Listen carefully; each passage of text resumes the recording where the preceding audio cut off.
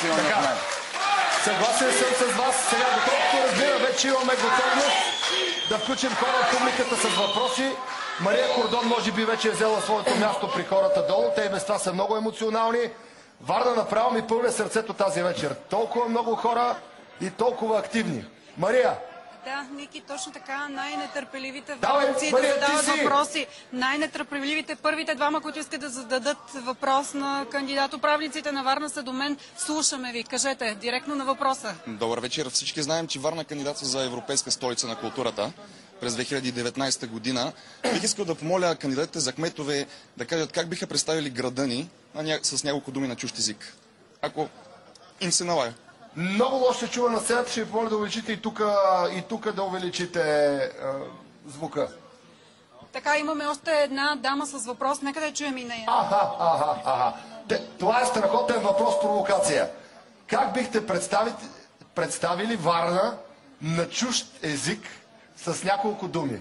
Кой каквото знае, който знае английски, английски. Който знае руски, руски. Страхотен въпрос, това е. Това е въпроса на вечерта, въобще въпроса на кампанията. Който знае турски, турски. Който може на цигански, на цигански. Човека каза на чуж език. Кмета Юрданов, действащия кмет. Три езика. Culture Capital of Europe. Културна столица Културна на. Европас. Културна е столица Европы. Три езика знае Сега, господин Бареков. Господин Бареков. Нека да чуем останалите и тогава ще ви дадем думата. Добре, по повод на протеста. Да, господин Нетков.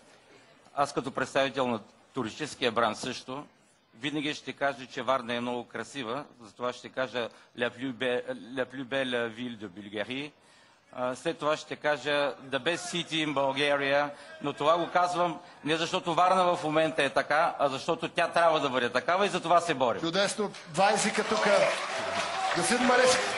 Аз като един обикновен гражданин на Варна, който си карам колите по същите тези пътища Ламборджинито казвам, и влизам, виждали, няма ламборджини, имам Бентле и други А, коли. Добре. Попадам,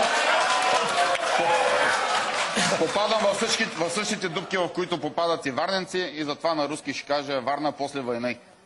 Варна после война. Мисля, че има...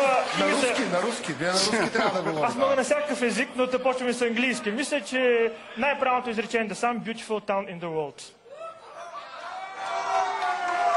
Не си... Няма смисъл да се превеждат тези така знакови неща, които се казват. Йордан Андреев, НДСВ. Die Warner Stadt ist eine gute Meerstadt. Супер, на немски. Липсваше ми немския този път, понеже аз не го знам немския, току-що ми подсказаха, че сте казал един хубав град на морето. Така ли е? Супер. И господин Костадинов. Varna is the most beautiful town in the whole southern Europe. Супер. А Браво. сега да го кажем на български, Зная. че Варна трябва да бъде град-държава. Ето това е истината, за която ние трябва да се борим. На чист български език. Дали искате да отцепите, да не направите тук Варна феодално? Само, може ли аз да добавя? България без Варна заминава. А Не Варна трябва да бъде и наше призвание.